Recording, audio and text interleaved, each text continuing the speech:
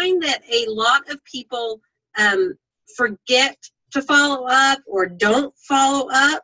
So I think there's a lot of helpful things that we can talk about tonight. And um, I have a little PowerPoint, so I'm going to share my screen so that we can um, maybe stay on task here. So bear with me as I pull it up.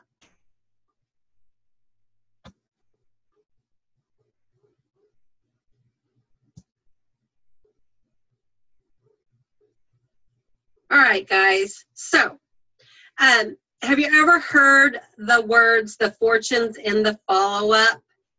Those are those are very very true words, and I want you to all remember that because if we're not following up, we're not going to be successful in the business or helping other people change their lives with their health and such. So, what um, would you say if I said um, there were um, a bunch of diamonds in your backyard, what would you do?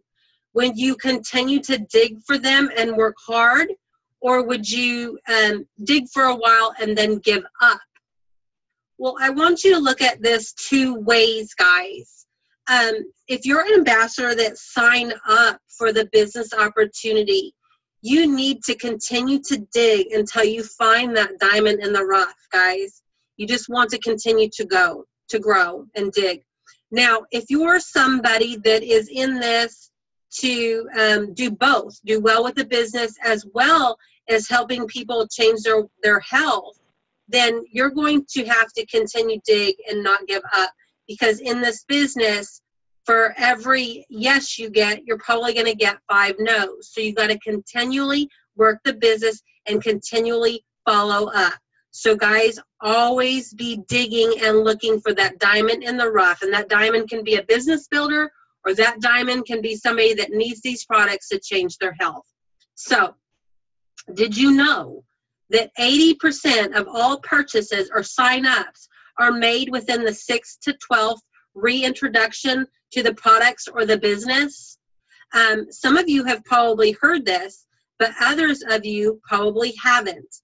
So I want you to understand that when we follow up with people, um, it is helping them re- be reintroduced to the products or the business. People get busy, and um, just think about yourself. Are you busy? Do you work? Do you have kids? Do you have a family? Um, all those things can add up.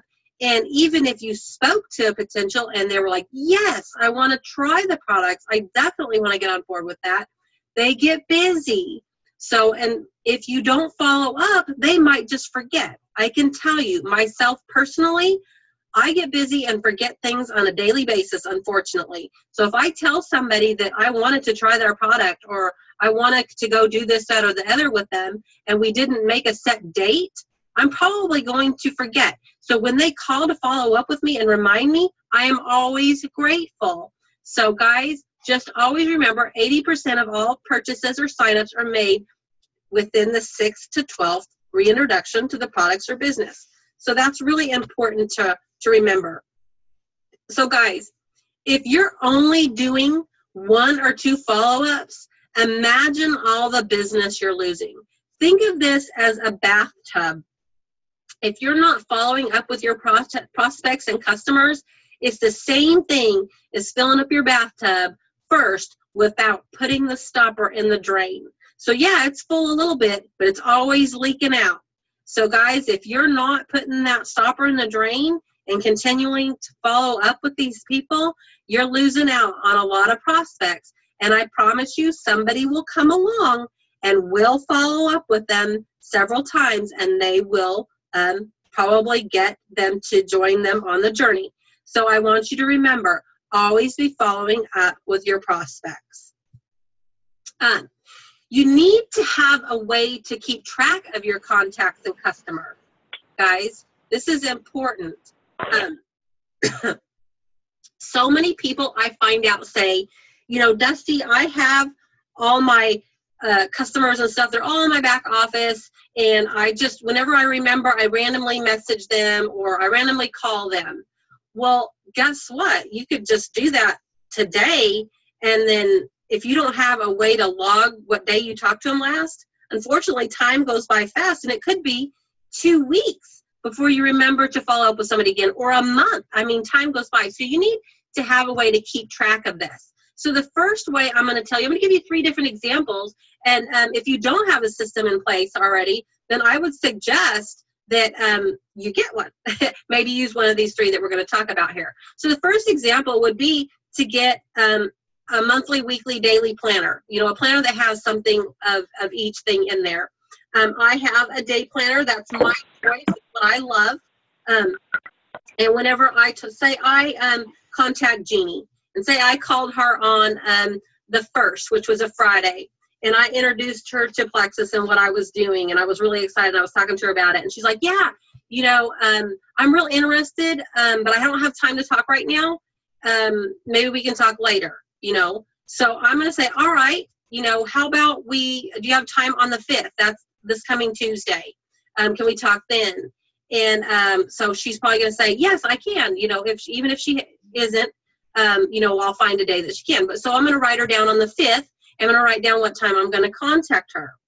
Um, say it's a customer that's already ordered, and um, so say your customer orders on the first, and you're going to write down, you know, Jeannie ordered on the first, and then you're going to say, okay, I want to follow up her, follow up with her after her first week. So you write down her name on the eighth and say, I need to follow up with Jeannie and um, check in on her and make sure how she did on her first week because that's going to be really important to follow up with your customers and make sure they're taking the products correctly. I'm hoping that when she placed the order on the first, that I was responsible enough, and I hope y'all are too, to send her a product sheet and tell her how to take the products. So then I'm going to write down on the 8th, then I'm going to follow up with her, and I'm going to check in on her with her product use. And then I'm going to say, okay, I'm going to write down, I'm going to check in with her on the 22nd. I'm going to give her two full weeks, but let her know if she needs anything in those first in those two weeks and i'm not going to contact her she needs to know that she can contact me with any questions at all. So those are just something good that you can do for um, this type of a uh, just a great uh, planner you know a daily planner. Um, the second example would be um, uh, 1 to 31 fast sorter this is something i used to use in my old job that i had. Um, what you can do with this is you just uh, you can type up a piece of paper that has your um, potential or your customers information on it you know their name and um, what products they're using if it's a customer and what day you last talked to them. Say you talked to them on the first and you want to follow up with them on the the seventh. So you would take their name out from the first and put it in the seventh. So that you would know that those would be the days of the month so this is just another great way that you can keep track. So after you talk to somebody on the first, you'd move their paper to the seventh. After you talk to them on the seventh, you might move it to the 21st if they're a new customer. Or, and then after that, you can just say, okay, so I'm going to follow up with them, you know, every three weeks or whatever, and then you just move it to whatever date that is. And so that you would just go get this fast order, open it on, if it's the first of the month, you're going to open it to the first. If it's the second month, day of the month, you're going to open to the second. So you'd know what each day was and who you were going to talk to. So these are just examples of how that you can keep track of them. We're going to talk more about what, we what we can say to follow up with people, but these are just systems that you can use to keep track. So you can either use a day planner or you can use a fast start short, um, 1 to 31 fast sorter to keep it organized for you. Or here's a third example. I find a lot of people like this. Um, all it is is like a recipe box. And instead, I know that you're looking there and you're seeing the A through Z letters. Instead of the A through Z, you can find cards that say, you know, that are blank and you can write 1 through 31. So those would be the days of the week. And you can just go get some note cards and you can write your customers down on that or you can write potential names down on that and poke them in on the days that you spoke to them. You know, you write down what days you spoke to them, and then you put them into the next day that you want to follow up. So these are great examples of something that you can use to keep yourself on track. I think any one of these three works well. It just boils down to um, your type of what fits you best. With me, it's my day planner because it goes with me everywhere and I can write down stuff really quick and easy. With others, I find they absolutely love the note card follow up system, and other people actually love that 1 to 31 fast sorter. So it just depends on what works for you. So I wanted to give you an example of something that you could use to keep yourself on track with checking in with your potentials, people that are not ordered from you yet, and such, and um, with people that are already your customers. You need to have a system in place to keep you on track because when you're on track and have a great system, success will follow. If you're scatterbrained, unorganized, then your customers are going to fall off because they didn't get taken care of, and your potentials are probably going to slip away like the bathtub we talked about because you're not following up with them. So it's important to have um, a system in place. So let's talk about some of the ways how do you follow up? Like how do you talk to people or what do you do? Um, when on the phone or in person, guys, always ask them um, an ending question. Say if you say if I called Jeannie and I'm very excited and I'm talking to her, I'm like, oh my gosh, I got I'm involved with Plexus and I'm talking to her because she like this because she is my friend. And um, with a friend, you're always going to be personable and friendly, obviously. So I, with her, I'm going to be a little more candid. I'm going to call her up and I'm going to say, you know, Jeannie, I got involved with this great company and I'm so excited about it. And this is what it did for me. And I would love um, to see you try it because I know you have this, that, and the other. And what if it worked for you? And what if you made some extra money? You know, and um, she might say, okay, that's great. I need a little more information, right? So um, I'm going to tell her, I'm going to end the conversation. Okay, I would love to call you and meet up with you like on Thursday at 3. Would that work for you? It's always good to end the conversation with something like that by setting up the actual day and time, guys. Um, because if you leave it open ended and say, okay, you know, Jeannie, I will talk to you later. Just give me a call when you get a chance. If you leave the conversation like that, she might forget. She gets busy because she had life. But if you say, you know, I'm going to meet up with you Thursday, or I'm going to call with you, call you at Thursday at three, would that work? And she says, heck yeah, I'm going to write it down in my day planner or whatever follow-up system I have, and that's going to keep me on track. And I'm going to call her back on Thursday. So that's a great way for you guys to um, to be speaking with somebody that is, you know, too busy to for you to talk with at the moment. Let's talk about some other things. Um, when you're following up with somebody that you've already set the appointment with, say it's not over the phone, say you've messaged somebody, either an email or you've PM'd them over Facebook. Um, so you've let them know about Plexus, they asked you for some more information, and you sent it. Now you're going to message them again and you're you're following up with them, right? So this will be, you know, probably the second or third exposure. So you just want to reiterate, remind them of how you can help them. Um, remind them and relate it to them that we have life changing products and a great business opportunity. So if this person you spoke with is, um, uh, say they said, um, you know, I'm just having problems with food cravings, um, then you want to reiterate in the uh, message to them, hey, uh, remember our Slim is great for curbing sugar cravings and carb cravings just a great um, all around health product that also helps you um, crave less foods. So that might be a follow up, something that you would send to them. So make it relate to them. So let's talk about something else. Um, when you can follow up another time if they haven't um, purchased or whatever, say they said, oh, okay, great, I'm so glad you checked in. You know, so you're following up again the next time. So you want to share ideas and insights. So you might say, you know, Pat, I've been thinking more about how we might be able to help your issue and you could insert whatever the issue is say it's the food cravings i thought i might that you might be interested in what we did for xyz meaning you know uh, say you find you have a friend you could insert your friend's name or find a testimony um, and and when they were dealing with the same issue the same challenge do you have a few minutes for a quick conversation and um, they're either going to be free to do it or not. But that's another suggestion you could do to re engage them whenever you're following up. Um, you want to, another thing is you want to continue to educate them when you're talking to people. You know, um, because sometimes your prospects are still asking themselves, does this make sense to move forward or not? You know, from the outside, you may not be able to tell. Sometimes if you're in the room with them or whatever, you can tell by their body language. But if you're over the phone or something, you can't tell. But you can keep giving them more reasons um, to try and see if it'll change for them. So you want to educate them on the products that will help with their issue or the business eh, business if that was their focus. So in other words, you just keep relating it back to whatever their problem was, or if they want the business, you just keep talking um, and educating them on Plexus. Um, so you just want to keep engaged with them and, and keep them interested. So it's not like you're just messaging them saying, hey, it's me again. Are you ready to try this?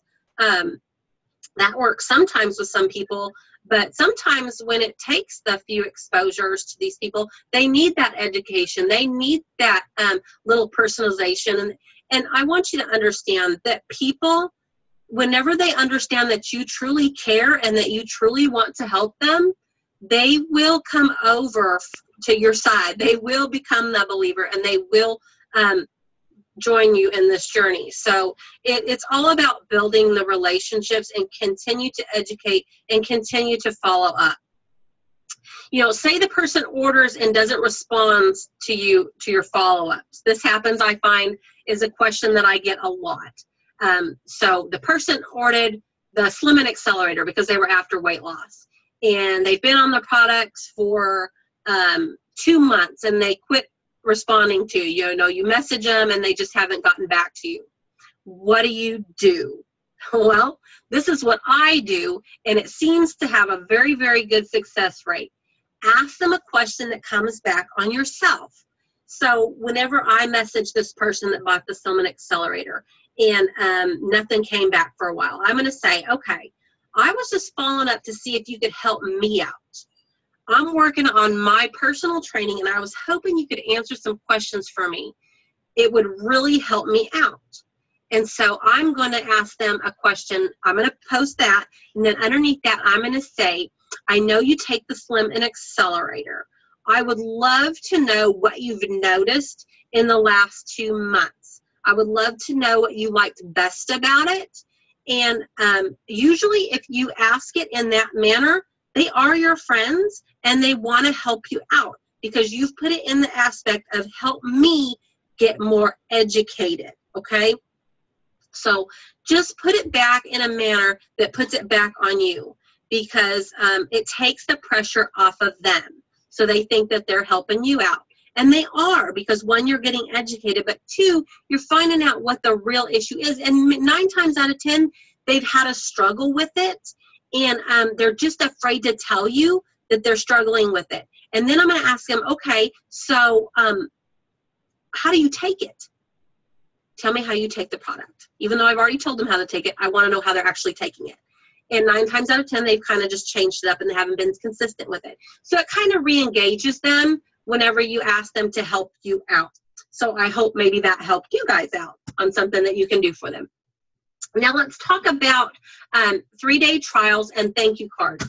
These can be great follow-up systems for you guys.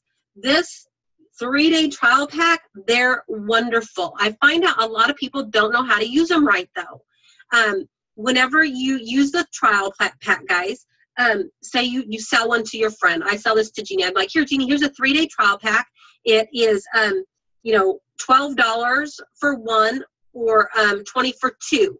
So you can choose whichever you like. Now, why I sell them versus giving them away. Now, I won't say I won't haven't given them away. I have given them away in the past, but I find that selling them is better because people have invested in these. And if they have invested money in them, they're more likely to use them. If I gave this away to Jeannie and if she wasn't real serious, she's liable to take this and throw it on her desk and put the mail on top of it and forget she even had it. And if she paid for it, she's probably going to use it. So I meet her and I get the product or she orders it off my website, either way, I'm going to say, okay, let me know what day you got the product. I'm going to keep I if she ordered it because I'll know what day it was delivered. Also, if I sold it to her, I'm going to hand deliver. If you know, if I see her person, I'm going to hand deliver it and say, okay, it's um, Monday, so here's the product. You're probably going to start it tomorrow, Tuesday, right? So um, when you start this Tuesday, just do the slim alone. On Wednesday, do the slim and one accelerator. And on Thursday, do the slim and two accelerators. What this is going to teach you is what dosing is correct for you, and you'll know how you felt on each day. Now, guess what? When I sold her this three day, I know she's going to be finishing on Thursday, right? So I'm going to get out my little follow up system and I'm going to write down in there that I'm going to contact Jeannie on Thursday. But I'm also going to tell her when I hand her this, I'm going to call you Thursday, find out what it was that you loved best about the product. All right, so there's an open ended follow up for you to get back in touch with them. And they're excited by that third day when they use the product because they told you what they like best about it.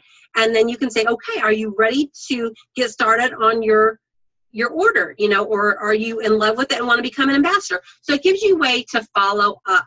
So guys i hope that that helped you out. I found a lot of people that didn't know about the whole follow up on the third day. And you can apply that with the seven day trial as well. You can say, okay, you know, you bought this on Monday, you started on Tuesday, I'm going to follow up on the seventh day and find out what you liked best. So it can be used in either way.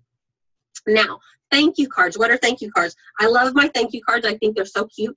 Um, what this is when a customer orders from me, um, Obviously, their information is in my back office, so I'm going to quickly grab my little thank you card here. And on the back, it has, you know, just it's like a little postcard. So I'm just going to thank them for their order. I'm going to tell them how appreciative I am and that I'm here for anything that they need. It's just another follow up to let people know that you care. Do you have to do these? No. That's a choice for you. If you want to do them, I think it's great. If you can't do them right now, that's okay. As your business grows, you'll be able to do things like this. So it's just another little way to follow up and show people that you care. So I think um, thank you cards are a great option. Um, guys, I want you to understand those things are all things that you can put in place for your potentials, for potential customers, potential ambassadors, and, customers as well. So you a, a great follow-up system is important. But I want you to understand it's not just for customers and potentials. You need to remember if you're a Plexus business builder, which means you have distributors underneath you, you need to have a follow up in place for your ambassadors as well. Um, get a notebook and write down all your level ones in it and write down their names and write down their strengths because you want to utilize those people's strengths. Let them lead different things. And you want to know things about them. Obviously, they're probably your friends and you probably know things about them, but write down their strengths so that you can use them later. Um, you want to have a day that you check in with them. Um, some people on my team, uh, I just talk to on a daily basis, so I don't have an exact day that I contact them. But there are people that don't contact me on a daily basis that I reach out to and, and talk to. And so I keep that in my notebook. Um, so reach, and I want to let you understand this. Reach down through your levels and find your runners. What does this mean? Well, I have lots of wonderful level ones, but not all my level ones are ones that want to work the business as hard as me or people that just sign up to get wholesale prices. And that's okay. I love them. But they may have signed up somebody that wants to work the business. And um, so you need to have a follow up program in place so that you reach down to those new ambassadors, build a relationship with them, and so that you can work with them if for some reason their sponsoring ambassador does not want to do this. So I encourage you to build a relationship with um, your at least your first four levels. Okay, if your organization is smaller, you can reach down to the first seven and and let them know who you are and introduce yourself. But as your organization gets bigger at least your first four levels. I can tell you that i try to build a relationship with every one of my first four levels um, when they sign up and i get a you got money email i will send them an email introducing myself and letting them know that i may not i'm not their sponsoring ambassador. However i'm their upline and I'm here to help support them. And I let them know I have a team page. And if they're not a part of it, I want them to be added to it. And I just let them know that just so they know they have support. I do also let them know that if they do have a sponsoring ambassador that's running with the business, absolutely they need to work closely with them. But I want that relationship with them because maybe their ambassador might be busy one day and they need to get a hold of somebody one day. They know that they have a relationship with me and they can reach up and I will be here to help them. So I always encourage a follow up system with your ambassadors as well. There's other tips that um, I'm sure each one of you have. and I want to hear about them. Other people want to hear about them because I believe there's many people on this team, guys, that have great ideas, not just myself and some of the people that I got these tips from. So what I'm going to do tonight is after we're done with the meeting, and um, you know we always record it, I'm going to place it in the training groups. And um, after it's placed, if you have a, a follow up idea or suggestion or something that you do that could be helpful, I would love for each one of you to comment in the comment section of where this is posted because teamwork makes a dream work, and I believe every one of you have great ideas. So we want to um, see you share them. And so, because tonight that we try to keep the call, the call at 30 minutes or less, and I'm almost up on up on my time. I just have a couple minutes. This was just a short overview of follow up. I hope that it did help many of you, and I want you to understand build the relationships with your team, but build the relationships with your customers and ambassadors. And, and, and potentials as well because happy customers make amazing ambassadors some of you may not know this. Guess what? I was a customer before I was an ambassador, and I was a very, very happy customer that wanted to share it with everybody.